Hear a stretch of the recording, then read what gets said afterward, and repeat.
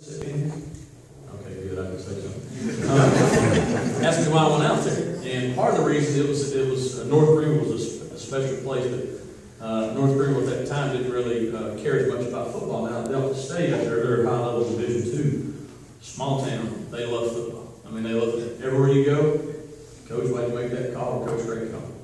Uh, and so, and I didn't realize how deep it ran there, uh, until obviously I got there, we're playing a game, were struggling, I was only there a year, so didn't have a good record, so that probably tells you why I left. But, um, they have, they just have wonderful people that are after, a lot of them are, are graduates from fifties and sixties, they go to every game, there's this young lady, call her young, she was about sixty-seven years old, her name was Dot, she wanted to know everything was going on.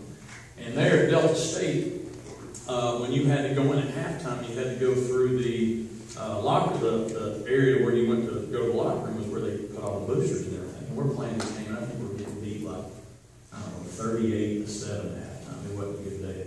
And so I knew if I if I saw her, she probably say something to me. So I'm walking through there, her all in there. I'm trying to avoid her.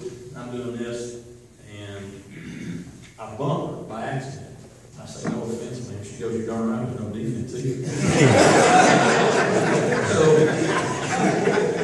I knew where I was at after that. But uh, I appreciate that. I'd like to congratulate the award winners today for job well done on on your, uh, the way you're playing. What I want to talk to you about briefly, and then, uh, then we'll, uh, we'll open up uh, for questions and all that. I'd really like to find out what crowd I'm talking to. Is there any, I have any Citadel people in here?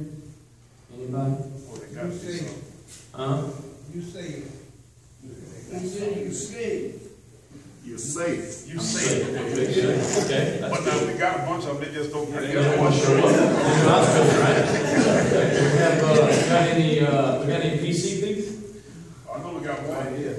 Right here? Y'all talk slow. All right, let's get going here. Okay, uh, what I want to share with you today, uh, something that we, uh, when when we, when we went to Charleston Southern, a lot of things that we were trying to get turned around there, obviously in the on-the-field product is really more about uh, the off-the-field and the attitudes of our young people and getting that in the right direction.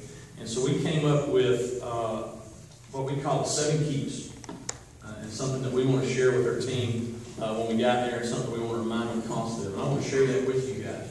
Uh, it's nothing, it's nothing long, but I think it's something that's really helped our team, uh, and these coaches would tell you, it's so much more than just the blocking and tackling. It's dealing with eighteen to twenty-two and all the different things they go to, and trying to give them a foundation. Uh, fortunately, you know, we're, we're at a Christian school where, uh, um, we don't have to shy away from talking about the foundation that we want to have there.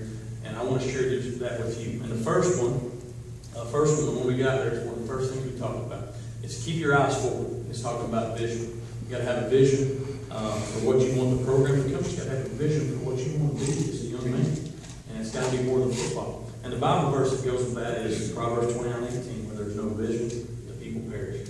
And so we had a lot of people there that were just, I, I call it like a duck, just swimming aimlessly in the water. And so we had no vision for what we wanted to do. So it's the first thing. So keep your eyes forward. Number two, and I think this is very important. Keep your team first. Play your part well. Keep your team first. Play your part well. And Proverbs 16, 24, gracious words are like a honeycomb, sweetness to the soul and health to the body. We had to define roles for our people. Play your part. Everybody wants to be a starter. Everybody wants to be the quarterback.